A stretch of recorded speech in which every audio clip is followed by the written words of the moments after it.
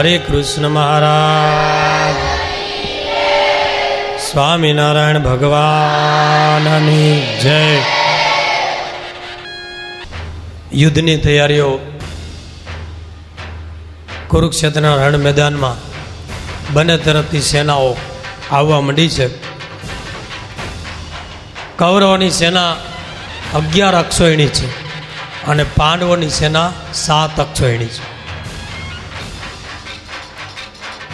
ભીષ્મ દાદાએ કર્ણને યુદ્ધની બહાર રાખ્યો છે.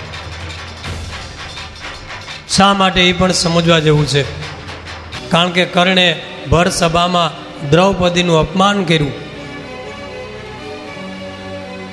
વેશ્યા કહી ભીષ્મ દાદા કહે છે કે મારા ગુરુ પરશુરામનું અપમાન કર્યું છે આ કર્ણે. કારણ કે પરશુરામનો શિષ્ય છે. એટલે કર્ણને કીધું, જ્યાં સુધી હું યુદ્ધનો સેનાપતિ હોઉં, ત્યાં સુધી તારે યુદ્ધ કરવા નહીં આવવાનું. એટલે કર્ણ છાવણીમાં બેઠો છે. દુર્યોધનને એ વાતનું દુઃખ છે, કારણ કે કર્ણને આધારે જ અર્જુનનો વધ કરવાનો હતો. બંને સેના રણ મેદાનમાં આવી ગઈ. અર્જુનનો મોહ, ગીતાનો ઉપદેશ, શંખ ફૂંકાઈ ગયા છે. અને એ વખતે યુધિષ્ઠિર રથમાંથી નીચે ઉતર્યા. પગે ચાલતા ચાલતા કૌરવની સેના તરફ આવવા માંડ્યા. બંને સેનાઓ જોઈ રહી કે આ શું? શું યુધિષ્ઠિર ડરી ગયા? શું શરણે આવે છે? માફી માગવા? કે હારી ગયા? યુદ્ધ પહેલા આવડી મોટી સેના જોઈ દુર્યોધન તો ખુશ થઈ ગયો. ભીષ્મ પિતા પિતામાં યુધિષ્ઠિર ડરી ગયા છે. હવે યુદ્ધ કર્યા વિના જ એ લોકો ભાગી જશે. જો આપણે શરણે આવે છે. ભીષ્મ દાદા કે તું જાણ, સમજ તો ખરો શા માટે આવતો હશે? થોડી વાર ધીરજ રાખો.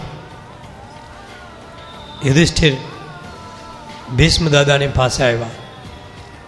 દ્રોણાચાર્યની પાસે આવ્યા. પ્રણામ કર્યા. હે પિતામાં અમે આ એક ધર્મયુદ્ધ કરવા માટે જઈ રહ્યા છીએ. માટે હે પિતામાં, જો તમારી આજ્ઞા હોય, તો અમે યુદ્ધનો પ્રારંભ કરીએ. તમે અમારા દાદા છો. હે ગુરુ દ્રોણાચાર્ય, અમે તમારી પાસેથી શસ્ત્ર વિદ્યા શીખી છે, માટે અમને તમારી આજ્ઞા લેવા આવ્યા છીએ. જો આજ્ઞા હોય, તો યુદ્ધનો આરંભ કરીએ. ત્યારે ભીષ્મ દાદાએ એને દ્રોણાચાર્ય આશીર્વાદ આપ્યા.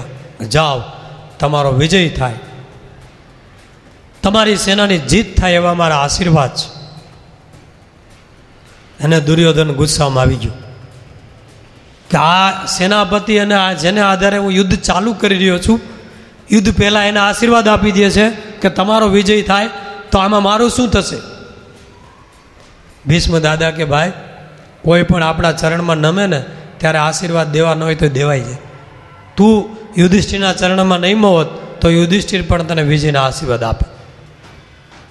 તો કે હું ન નમું તો કે બાય તમે મર બધા એના આશીર્વાદ કૃપાચાર્ય કૃતવર્મા બધાના આશીર્વાદ લીધા અને પછી યુધિષ્ઠિર રથમાં બેઠા કે હવે અમને કોઈ દોષ દેશોમાં અમે બધાના સંમતિ, આશીર્વાદ અને કૃષ્ણ ભગવાનની છત્ર છાયામાં યુદ્ધ કરીએ છીએ.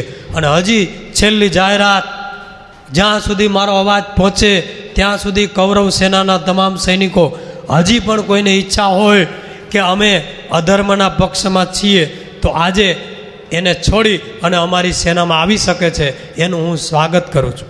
કોઈ પણ સુરવીર હોય તો આવે. અને એ જ વખતે દુર્યોધનનો એક ભાઈ એક ભાઈ હતો, જે દાસી પુત્ર કહેવાય, પણ ધૃતરાષ્ટ્રનો પુત્ર એ તરત પોતાનો રથ લઈ અને બહાર આવ્યો સેનામાં. કે હું તમારી સેનામાં આવવા માટે ઈચ્છું છું, કારણ કે આ અધર્મનો પક્ષ છે, હું ધર્મના પક્ષે યુદ્ધ કરીશ.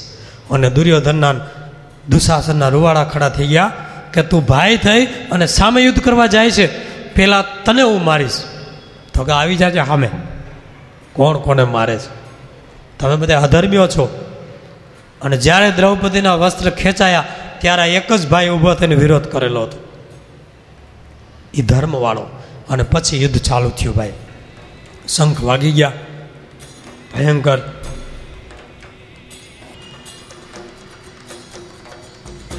પહેલો દિવસ યુદ્ધનો.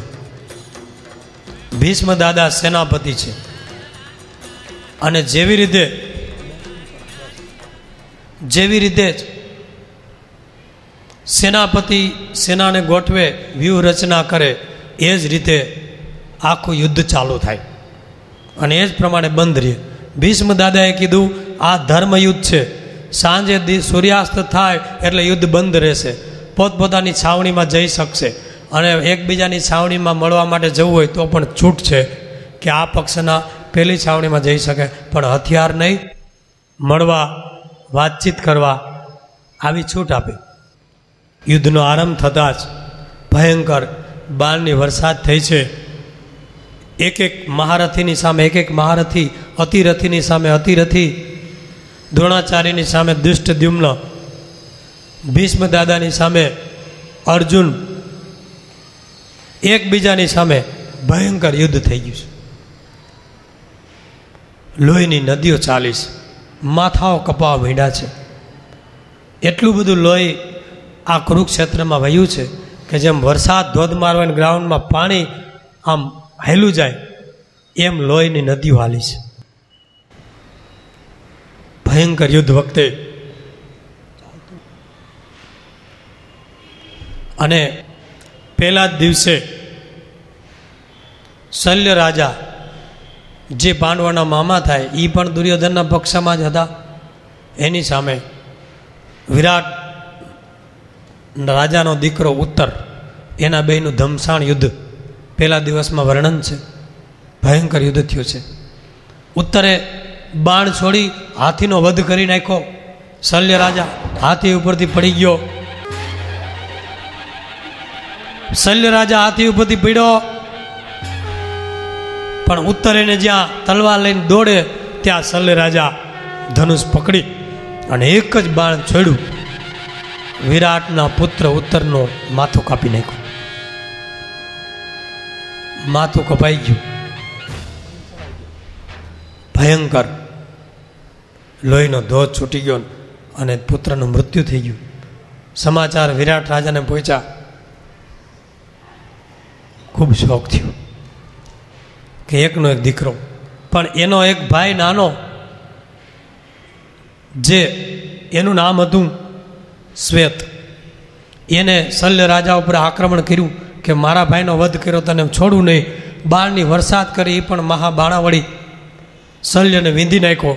એ વખતે યુદ્ધ કરનારને એમ થયું કે નક્કી શલ્યનો વધ કરી નાખશે. એટલે ભીષ્મ દાદા એની સહાયમાં આવ્યા. ભીષ્મ દાદાએ બાણ શસ્ત્રવિદ્યાઓનો પ્રયોગ કરી બાણથી વીંધી નાખ્યો પેલાને. પણ આ શ્વેત બહુ શક્તિશાળી હતો. એને ભીષ્મ દાદાને સારથીને મારી નાખ્યો. સારથી પડ્યો એટલે રથ મીંડો. આમ તેમ ભમમાં ભીષ્મ દાદાએ બ્રહ્માસ્ત્રનો પ્રયોગ કર્યો છે. અને બ્રહ્માસ્ત્ર પેલા શ્વેત કુમાર ઉપર છોડી અને એનો વધ કરી નાખ્યો એનું મસ્તક કાપી નાખ્યું. પહેલા દિવસે પાંડવોની સેનામાં ભયંકર રીતે મૃત્યુ થયું છે. કેટલાય સૈનિકો કપાઈ ગયા છે. સાંજ પડી, ભીષ્મ દાદાએ શંખ વગાડ્યો એટલે શસ્ત્રો બધા મ્યાન કરી દીધા. પહેલા દિવસનું યુદ્ધ પૂરું થયું. એમાં મુખ્ય મોટા, બીજા નાના મોટા મર્યાને તો પાર નહીં. પણ પાંડવોની સેનામાં આ બે મુખ્ય મર્યા. કૌરવોની સેનામાં આનંદ થઈ ગયો અને પાંડવોની સેનામાં શોક છવાઈ ગયો. આ બાજુ, બીજો દિવસ. બીજા દિવસનું સવાર થતાં ફરીવાર સેનાઓ સજ્જ થઈ રણ મેદાનમાં આવી. બીજા દિવસનું યુદ્ધ. એમાં દ્રોણની સામે દુષ્ટ દિમ્ન એનું ભયંકર યુદ્ધ થયું. બે એટલા બધા બાણ છોડે છે, બે પાસે વિદ્યા છે. કે આખું આકાશ વાદળોથી છવાઈ જાય, એમ બાણથી છવાઈ ગયું. બધા જોઈ રહ્યા કે આમાં કોણ જીતશે. પણ દુષ્ટ દિમ્ન દ્રોણાચાર્યના વધ માટે જ અગ્નિકુંડમાંથી દ્રુપદ રાજાએ ઉત્પન્ન કરેલો હતો. એટલે દ્રોણાચાર્યને મૂંઝવી દીધા. બાણથી વિંધી નાખ્યા. એના ઘોડાઓને વિંધી નાખ્યા.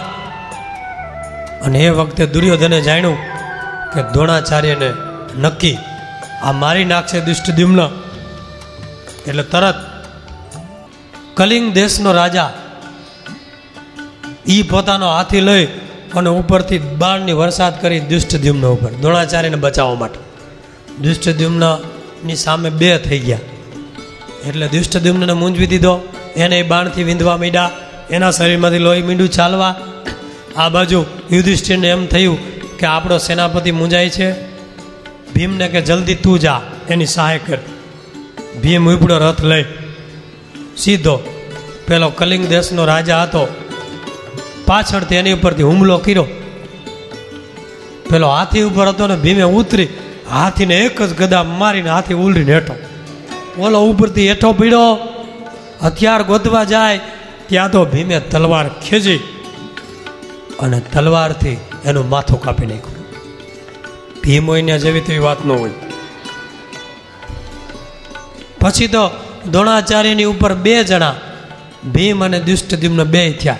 દ્રોણાચાર્યને તો ઊભી પૂંછડીએ ભગાડી દીધા. દ્રોણાચાર્યનો રથ ભાંગી નાખ્યો.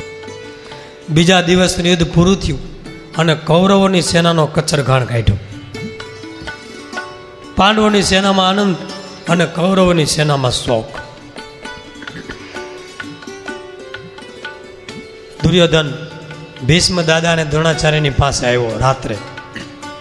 કે પિતામાં તમે બરાબર યુદ્ધ કરતા નથી.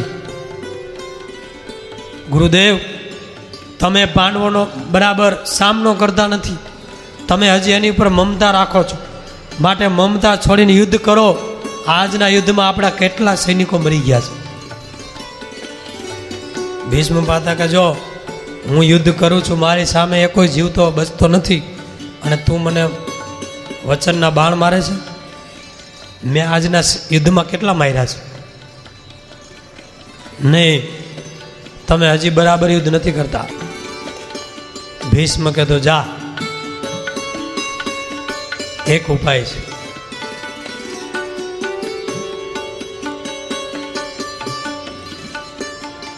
છાવણીમાં, તારા સોએસો ભાઈઓ સહિત તું, જો તમારે મરવું ન હોય તો તારી પત્ની ભાનુમતી, હું જ્યારે રાત્રિએ જપ કરી ધ્યાનમાંથી જાગું અને તારી પત્ની આશીર્વાદ લેવા આપે, આવે તો હું એને અખંડ સૌભાગ્યવતીના આશીર્વાદ આપી દઉં. મારી તપ અને જપની સાધનાથી તો તમારા સ્વયં કૌરવને કોઈ મારી ન શકે. જા, બસ. કારણ કે પાંડવોને તો કઈ વાંધો નથી. દુર્યોધનને આ વાત ગમી ગઈ. જો અખંડ સૌભાગ્યવતીના આશીર્વાદ મળી જાય, તો અમારા સો ભાઈઓને કાંઈ ન થાય. અને મને તો કાંઈ થાય જ નહીં. એટલે એની પત્ની ભાનુમતીને જઈને વાત કરી, આજે દાદા ધ્યાનમાં બેસશે, જપમાંથી જાગે. તારે જઈ દાદાની પૂજા કરવી, ફૂલ મૂકવા અને પગે લાગજે. દાદા આશીર્વાદ આપશે.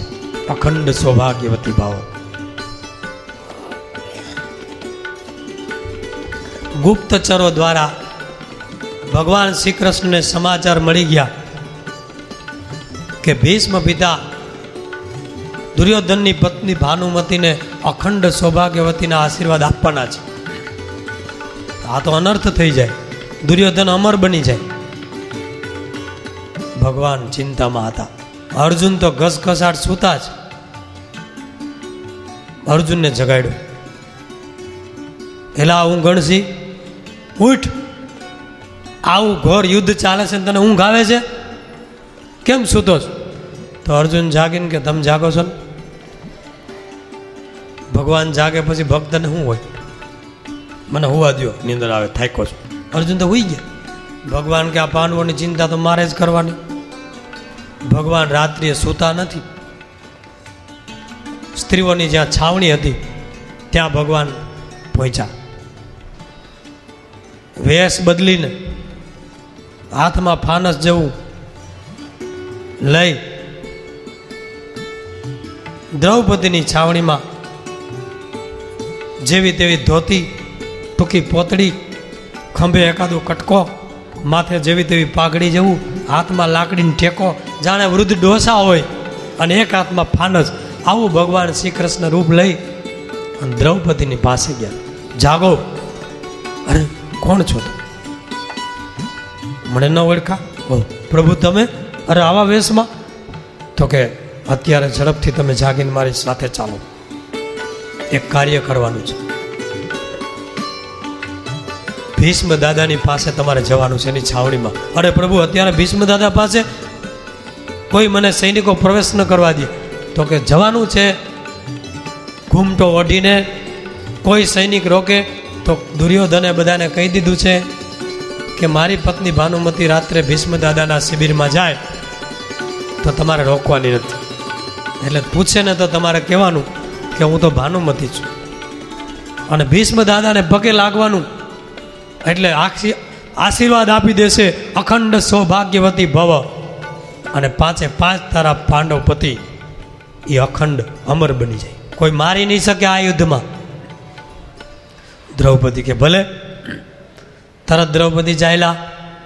ભગવાનની સાથે, ભગવાન ફાનસ હાથમાં ચાલી લાકડીને ટેકે ઠગું ખગું, હાલતા જાય છે. જોજો ભગવાન કેવી લીલા કરી. ભગવાન કે હું અહીંયા દૂર બેઠો છું. જો સામે ભીષ્મ દાદાની છાવણી છે. એની અંદર દાદા હશે. જાઓ.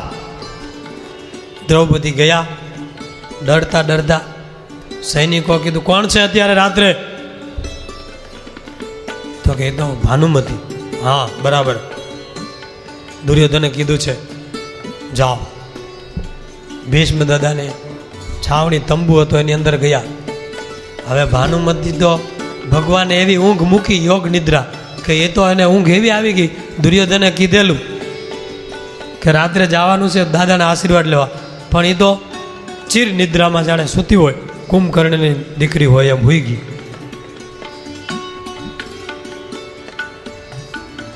અહીંયા દ્રૌપદીએ દાદાની પૂજા કરી, ફૂલ ચડાવ્યા, પગે લાગી, અને દાદા જપમાંથી જાગ્યા. દ્રૌપદી આમ માથું નીચું કરી, ઘૂમટો ઢાકેલો, અને દાદાએ પોતાનો જપ તપ, હાથ ઊંચો કરીને કીધું, અખંડ સૌભાગ્યવતી ભાવા. દ્રૌપદીએ ઘૂમટો ઉસકાવીને કીધું, તો કાલના યુદ્ધમાં ધ્યાન રાખજો. હે? તું કોણ? દ્રૌપદી, તું અહીંયા? દાદા, હું તમારા પુત્રની પત્ની નથી, તો મને આશીર્વાદ નહીં? અને પેલા દુર્યોધનની પત્નીને આશીર્વાદ મને નહીં મળે? ભીષ્મ દાદા કે, તને અહીંયા લાવ્યું કોણ? નક્કી આમાં કોક બીજાનો હાથ છે. નહીં તો આ વાતની કોઈને ખબર નથી. કોણ તને એ લાવ્યું છે? તો કે કોઈ નહીં, એક અમારો સૈનિક, અમારો નોકર, અમારો દાસ એ મને અહીં લાવ્યો. કોણ છે દાસ? મારે જોવો ચાલ ભીષ્મ દાદા તલવાર લઈને તંબુની બહાર નીકળ્યા. તા તો દૂર ભગવાન કૃષ્ણ ઉભડક પગે આમ હાકલીને ટેકો. ઉભડક પગે બેઠા હતા ફાનસ. અંધારામાં જો અમારો સેવક બેઠો છે કે એની સાથે મારે સેવક જોવો છે. ભીષ્મ દાદા આવ્યા, દ્રૌપદી ડરવા મીઠા હવે શું થશે? ઓળખી જશે તો? આવીને પેલા કોણ છે? આ તો ભગવાન ઊભા થઈને કે બાપા એ તો હું. કોણ? હું અહીંયા આવ. તો ભગવાન નજીક આવ્યા. હા ભીષ્મ દાદા ધારી ધારીને જોવે. ફાનસ હાથમાં જટી લીધું. ફાનસની વાઈટ જરાક ઊંચી કરીને અજવાળું વધાર્યું. અને આમ મોઢા સામે જોયું. અને ભીષ્મ દાદા કે, કૃષ્ણ, તમે? હા, દાદા, હું. આ વેહમાં? તો કે જરૂર હતી. અરે, પણ આ શું કર્યું તમે? તો કે, દાદા, તમે અધર્મનો પક્ષ લઈને યુદ્ધ કરો છો અને અધર્મને જીતાડવા તમે એને આશીર્વાદ આપવા માગો છો. આ ધર્મ છે પાંડવોના પક્ષમાં. અને મને તમે ભગવાન જાણો છો મારી ભક્તિ કરો છો અને આશીર્વાદ કૌરવોને આપો છો? માટે આશીર્વાદની અધિકારી દ્રૌપદી છે અને જેનો અધિકાર એને આશીર્વાદ મળી ચૂક્યા છે. હવે પાંડવોને તમારે મારવાના નથી. આ ગમે એટલા તો યુદ્ધ ચાલે, તમારે તો ઈચ્છા મૃત્યુનું વરદાન છે, તમે તો મરવાના નથી. તો પાંડવોનો પણ વાળ વાકો ન થવો જોઈએ. ભીષ્મ દાદા કે જેવું ભગવાને ધાર્યું એવું થશે? ભગવાન તો ચાલ્યા ગયા દ્રૌપદીને લઈ, ભીષ્મ દાદાએ વિચાર કર્યો હશે? જેના ભાગ્યમાં હતા એને આશીર્વાદ મળી ગયા. દાદા તો છાવણીમાં આવી, પાછા ધ્યાનમાં બેસી ગયા. અને આ બાજુ સવારનો ચાર વાગ્યાનો સમય થયો, તા દુર્યોધનની પત્ની ભાનુમતીની ઊંઘ જાગી. એની ત્યારે અખંડ સૌભાગ્યવતીના આશીર્વાદ લેવાના છે. મોડું થઈ ગયું. જલ્દી ઉઠી એ કાંઈ મોડું બોડું ધોયું ન ધોયું. હાથમાં ફૂલ ને પાણીની લોટીને જે હાથમાં હતું લઈ અને જલ્દી જલ્દી નીકળી. બે સિપાહીઓને સાથે લઈ દાદાની છાવણીમાં કોક સૈનિક પૂછે, કોણ છે? ખબર નથી હું કોણ છું હું દુર્યોધનની પત્ની છું, મને રોકનાર તું કોણ? તો કે છે, બાપા, જાઓ. ચા કરતા ખીટ, ચા કરતાં ખીટલી વધારે ગરમ હોય. ભીષ્મ દાદા તો ધ્યાનમાં બેઠા છે અને આને તો કાંઈ પૂજા કરતા આવડે નહીં. ફૂલ માથે ઘા કરાવ. કે આ બાપા ક્યાં આખું ઉગાડે? પાણી લોટો માથે ઢોળ દીધું.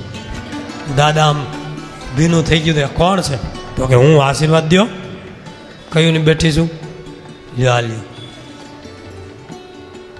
દાદા કહે છે, આશીર્વાદના જે અધિકારી હતા એ લઈ ગયા, હવે કાંઈ છે નહીં. કોણ લઈ ગયું? જે હશે મારી પહેલાં કોક આવ્યું, પણ લઈ ગયું. મને દ્રો, ભાનુમતી ધુઆ ભુઆ થઈ ગઈ. વૈદા ગઈટા ફૂલે માથે નાખી દીધા. લોટોય ઘા કરી દીધો. આવા નવા કે બધાય મને રાત જગાડી. લ્યો. કારણ કે સંસ્કારનો છાંટો જ નહીં.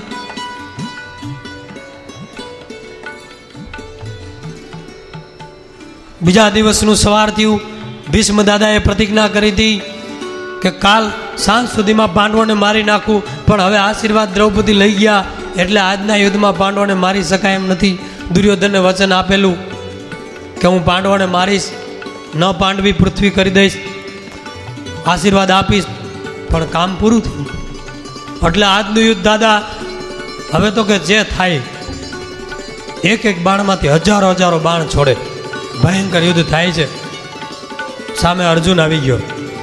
અર્જુન પણ જેટલા શસ્ત્ર વિદ્યા શીખો હતો ને, સ્વર્ગમાં એ બધી અજમાવા માંડ્યો વચ્ચે બીજા સૈનિકોનો કચ્છર ખાણ. અને આ બે યુદ્ધ કરે હજારો બાણ છોડી છોડી. માથા ઉડે. અને ભીષ્મ દાદા એવી શક્તિ લગાડી, ભાઈ, આ તો પરશુરામના શિષ્ય. ઈચ્છા મૃત્યુ. એ વખતે ભીષ્મ દાદાની ઉંમર એકસો ને અઢાર વર્ષની હતી. એ વખતે આવા ગઈઢિયા બુઢિયા આવું યુદ્ધ કરતા હતા.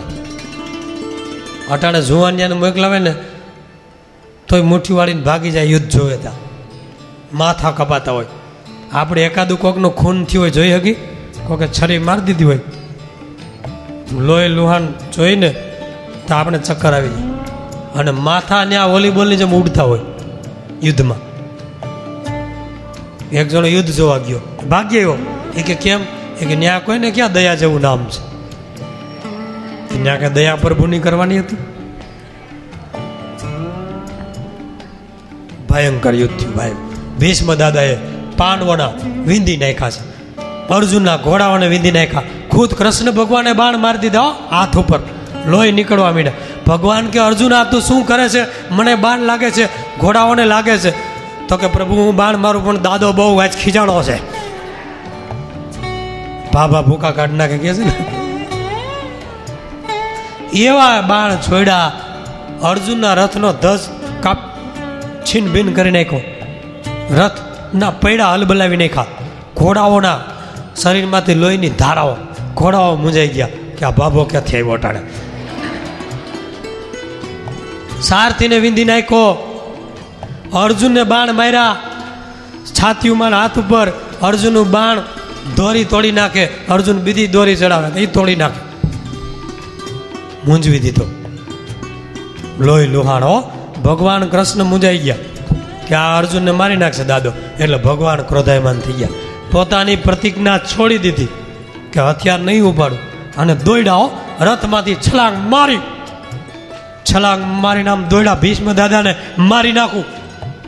આમ હાથમાં કાંઈ ન આવ્યું, ધૂળમાં બાચકા ભરે, હાથમાં કાંઈ નહોતું, એટલે રથનું પૈડું તૂટેલું ક્યાંક પડ્યું થી ઉપાડ્યું એ ચક્કર ચક્કર ફેરવો સુદર્શનની જેમ. મારી નાખું. તા તો ભીષ્મ દાદા હથિયાર મૂકી દીધા. અને રથમાંથી હેઠા ઉતરીને, વાહ પ્રભુ, વાહ. વાહ ભગવાન. તમારે હાથે મારો વધ થાય તો તો મારું મૃત્યુ સુધરી જાય. મને તમારું દિવ્ય ધામ મળે. મારી જ નાખો તમે મને. આવો આવો મારો. ભગવાન આમ ઊભા રહી ગયા ક્રોધમાં. આમ ખેસ પડી ગયો. આંખમાંથી ક્રોધ રૂવાડા બેઠા થઈ ગયા. દાદા કે મારો? ખાલી વાંસળી વગાડો પણ મારો? પ્રતિજ્ઞા ક્યાં ગઈ? તમે શું પ્રતિજ્ઞા કરી હતી? કે હું હથિયાર નહીં ઉપાડું? અને આ શું કર્યું? ભગવાને પૈડાનો ઘા કરી દીધો. દાદા, આ હથિયાર નથી આ રથનું પૈડું છે. મારી પ્રતિજ્ઞા સલામત. લ્યો હાલ્યો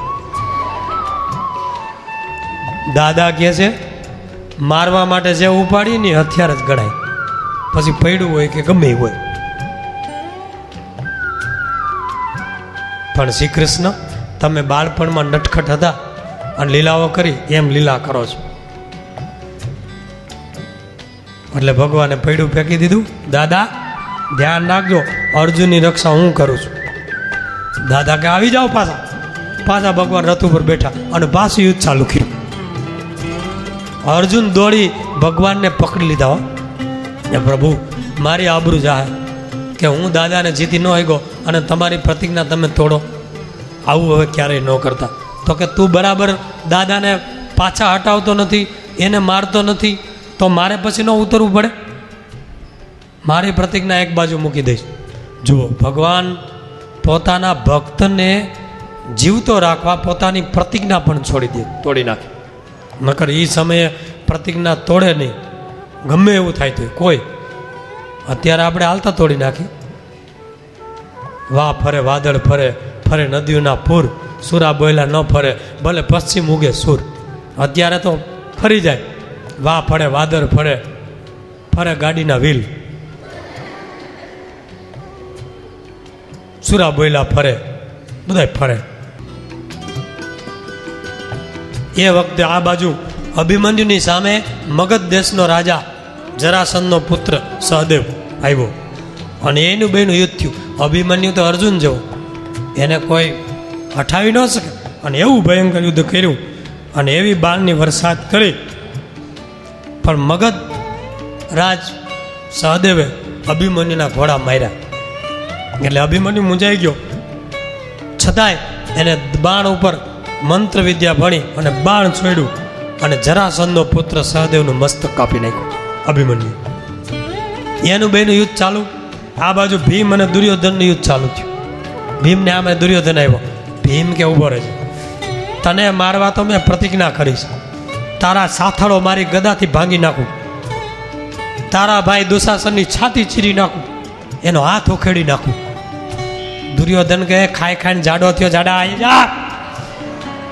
ખાંડી ખાંડી ખીચડું ખાઈ બાંધવાની કળા અમારી પાસે તારે ભાઈ ખાવાની કલા છે. અને એ બેનું યુદ્ધ થયું. અને ભીમે દુર્યોધનને એવો મૂંઝવી દીધો. એવો માર્યો. આ બાજુ હાથીની સેના ભીષ્મ દાદાએ મોકલી દુર્યોધનની રક્ષા માટે વચ્ચે હાથીની સેના આખી આવી. ભીમે જાણ્યું કે હાથી આવ્યા. ભીમ હાથીને મીડો મારવા. મહાભારતની યુદ્ધમાં વર્ણન છે, ભીમે હાથીઓનો કચ્છર ઘાણ કાઢી નાખ્યો. પૂછડી પકડી પકડીને ફેરવીને ઘા કરે. આપણે જેમ ઉંદડી પકડીને ફેરવી, એમ હાથી પકડી પકડીને કૌરવની સેનામાં જ્યાં પડે ના પંદર વીનો કચર ઘાણ હા? અત્યારના તમે ડબલ ડબલ એફ વાળા જુઓ. કેવા હોય? બિક્સોન રિક્સોન બધા ખલીન બલીન ઘણા કહે છે ને? ભયંકર યુદ્ધ થયું. દુર્યોધને ગદાનો ઘા કરી મૂર્છામાં નાખી દીધો. દુર્યોધન રથમાં છતો પાટ પડી ગયો. એનો સારથી રથ દોડાવીને ભાગી ગયો. ભીમ કે ઊભો રહે. પણ ઓલો નીકળી ગયો ત્યાં બીજી સેના વચ્ચે આવી ગઈ. ભીમ કે આજ મૂક નહીં ગગાને. ભાગી ગયો કાલ વારો છે. આ બાજુ ભીષ્મ દાદા આડા આવી ગયા ભીમની સામે. ભીમ કે, દાદા, એક બાજુ રહેજો. આપણો ચપાટો નથી જોયો.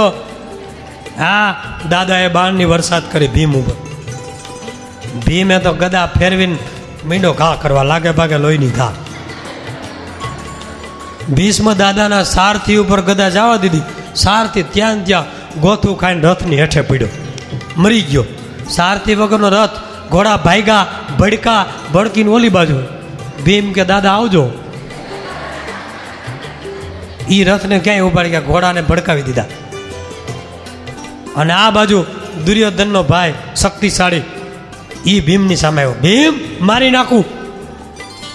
તે મારા ભાઈ દુર્યોધને બહુ હેરાન કર્યો. ભીમ કે, આવી જા. મારી પ્રતિજ્ઞા છે કે તમને સોએ સોને આ યુદ્ધમાં મારવા છે. ઉદ્ઘાટન તારાથી કરી દઉં. અહીંયા આવ. અને એ આવ્યો ને એની સામે ભયંકર યુદ્ધ કરી. ભીમે એક જ માથામાં ગદા મારી, નાળિયેર ફોડે એમ માથાના કાચલા ઉડાડી દીધા. ભીમ કે, જય હનુમાન. હનુમાનજીના મંદિરે નાળિયેર વધારી દીધું. ત્યાં બીજા હાથ ભાઈઓ, દુર્યોધનના બીજા સાત ભાઈઓ આવ્યા ગદા લઈને. કે, અમારા ભાઈને મારી નાખો. એ આવ્યા. ભીમ કે, આવો. ઓપનિંગ થઈ ગયું છે. અને એ હાથે હાથ અને એકલો ભીમ. ભયંકર યુદ્ધ થયું. બાણથી થયું, ગદાથી થયું. પકડી પકડી, એક બેના ગળા દબાવી દીધા. એક બેના ગદા મારીને છાતી ફાડી નાખી. કોઈના માથા તોડી નાખ્યા અને હાથ ભાઈઓને મારી નાખ્યા. કુલ આઠનો વધ. અને આ બાજુ સંજય ધૂતરાષ્ટ્રને આ કથા સંભળાવે છે, આ યુદ્ધનું લાઈવ પ્રસારણ. ધૂતરાષ્ટ્રની આંખમાં આંસુ. સંજય, તને મારા દીકરા મરે છે એ જ દેખાય છે? પાંડવો કે પાંડવોના પુત્ર કોઈ મરતા નથી? આંધળો કહે છે. સંજય કે ભાઈ, હું શું કરું? હું તો લાઈવ પ્રસારણ ટીવી કાસ્ટ ચેનલ રિલે કરું છું. તમારા દીકરા આઠ મરી ગયા. ભીમે મારી નાખ તો કે ભીમને કેમ કાંઈ થતું નથી? એ કે એ મને નથી ખબર. હું અહીંયા બેઠો છું. તમારા દીકરાઓએ જે અધર્મ કર્યો છે, એનું ફળ તમે જોઈ રહ્યા છો. બતાવો મને. હવે આગળ શું થયું? મારા મારા પ્રિય દુર્યોધને તો બહુ દુઃખ થયું હશે, કારણ કે સાત, આઠ ભાઈઓ મરી ગયા. બતાવો, દુર્યોધન અત્યારે ક્યાં છે? ત્યાં આ બાજુ. જોયું. સંજય કહે છે, હે ધૃતરાષ્ટ્ર, અટાણે દુર્યોધન બહુ દુઃખી છે. એની આંખમાં આંસુ છે, કારણ કે એના સાત ભાઈઓનું મૃત્યુ થયું છે. એટલે દુર્યોધને ભીમને મારવા માટે અલંબુસ નામનો રાક્ષસ દુર્યોધનના પક્ષમાં એક રાક્ષસ વિદ્યા ભણેલો, મોટો ભયંકર અલંબુસ હતો. એ ઈચ્છા પ્રમાણે રૂપ લઈ શકતો હતો. એને કીધું, એ અલંબુસ તું જા, ભીમનો સામનો કર. ભીમને માર અલંબુસ આવ્યો. વિરાટ રૂપ લીધો અને ભીમની સામે ભયંકર માયા પ્રગટ કરી અને માયાવી સેના ઊભી કરી. આમ જુઓ ચારે બાજુ સેના. ભીમ કે, આ રાક્ષસ લાગે ભીમે પોતાના પુત્ર ઘટોરગસનું સ્મરણ કર્યું. આવ બેટા ઘટોરગસ પપ્પાની મદદ કરો. અને એ વખતે ઘટોરગસ ત્યાં પ્રગટ થયો, જી પિતાજી. તો કાને માર.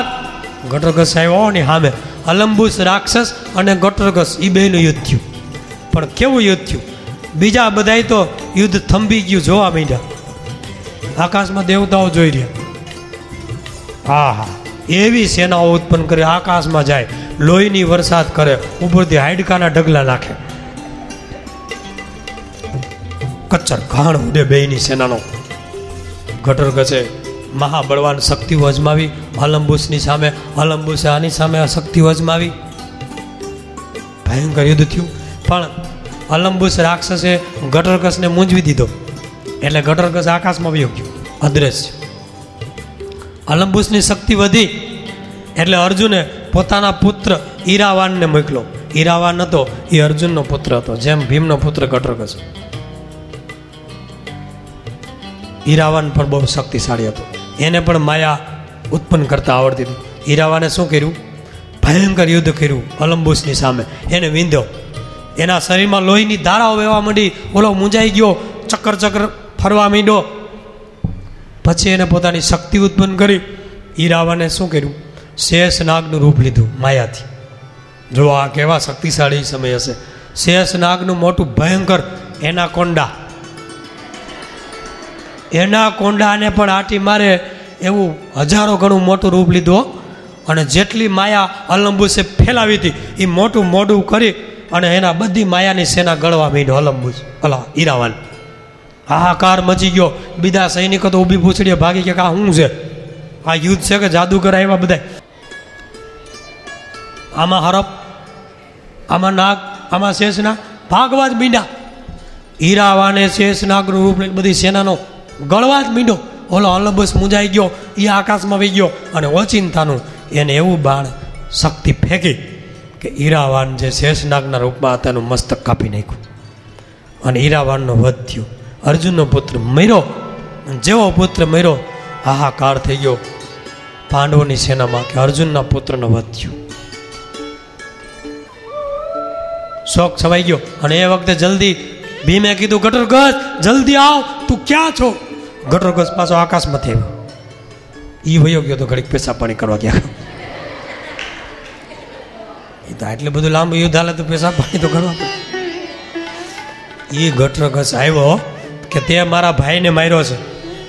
હાથ તને મૂકું નહીં, અને એવી રાક્ષસણીઓ ઉત્પન્ન કરી ભાઈ. હા, પચાસ પચાસ ફૂટ લાંબી. ડાયનાસોરની દીકરીઓ હોય એવી રાક્ષસ.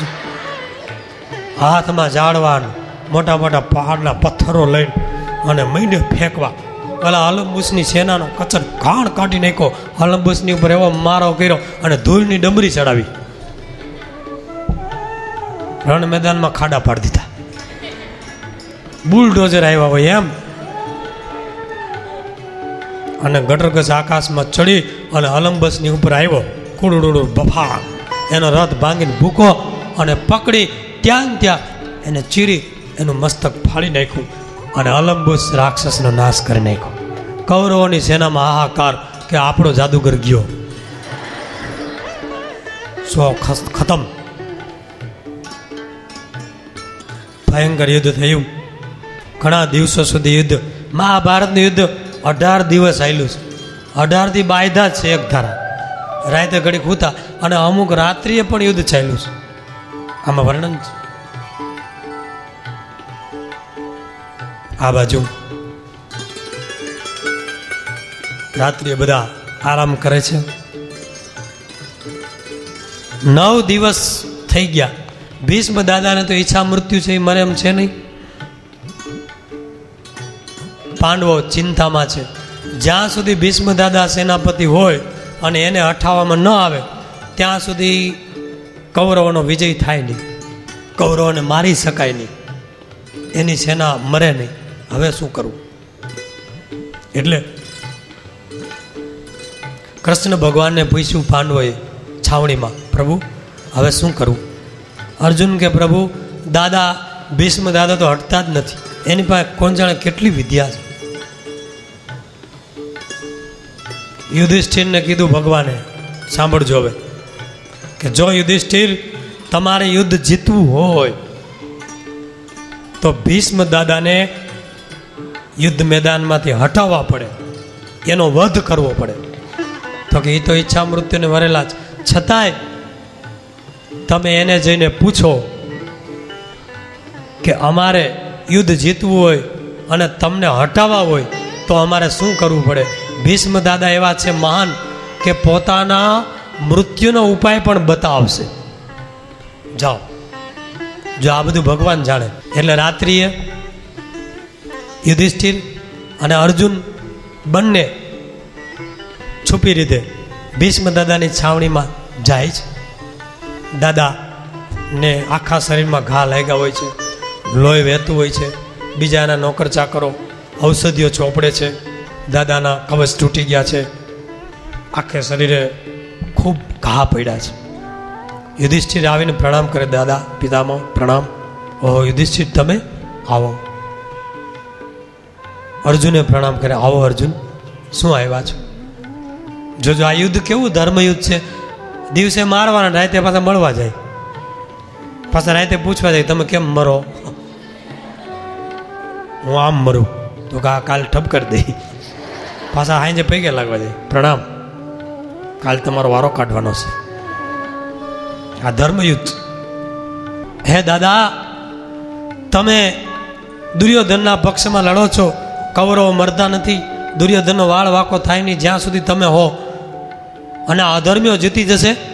હે દાદા, તમે તો પ્રતિજ્ઞાબદ્ધ છો, હસ્તિનાપુરની ગાદીને વફાદાર છો. પણ અમારું શું? તો શું અમે યુદ્ધ નહીં જીતી શકીએ? અને દુર્યોધન અધર્મી રાજા બની જાય? તો કે ના ના, જ્યાં કૃષ્ણ છે ત્યાં જ વિજય છે. તો કે પણ તમે તો હટતા જ નથી. હે દાદા, જો અમારી ઉપર તમારા આશીર્વાદ હોય, અને પહેલે જ દિવસે જો અમારો વિજય થાય, વિજયી ભવ. આવા આશીર્વાદ આપ્યા છે એ અમે તમને પાછા આપવા આવ્યા છે. આશીર્વાદ પાછા લઈ લ્યો. તો કે આશીર્વાદ થોડા હું પાછા લઉં? તો કે અમારો વિજય કેમ થાય? અને તમે યુદ્ધ મેદાનમાંથી કેમ હટો?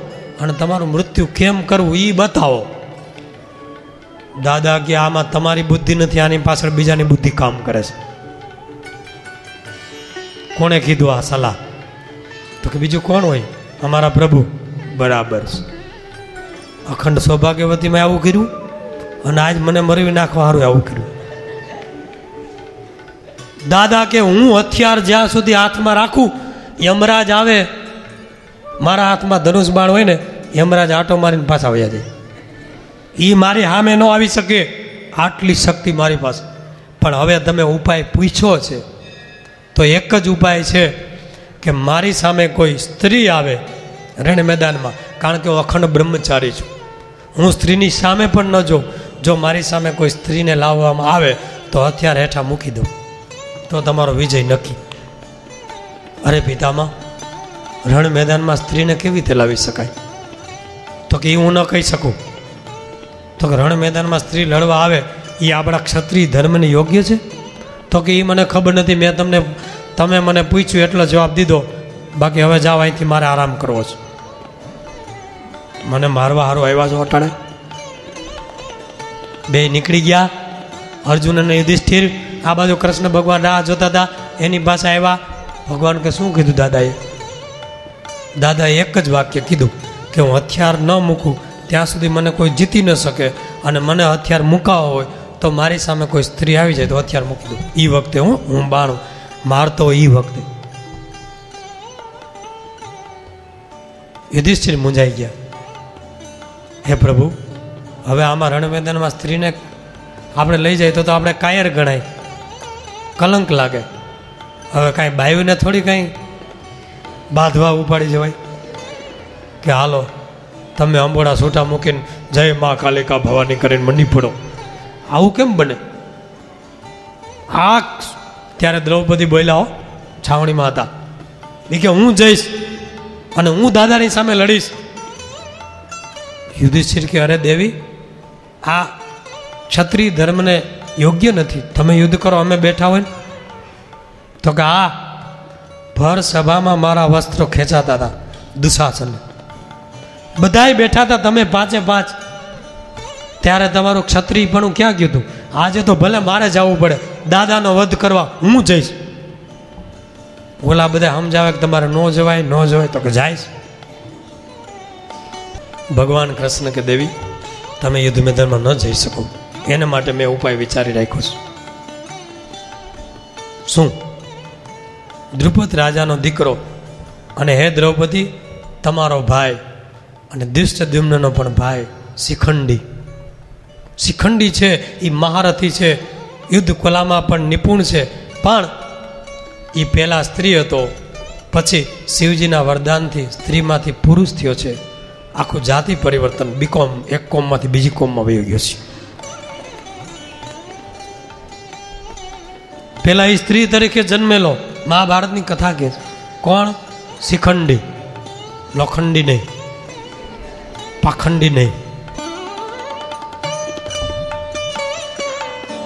જા ભગવાન શ્રી કૃષ્ણ ન હોય, તો પાંડવો ક્યારેય જીતી ન શકે.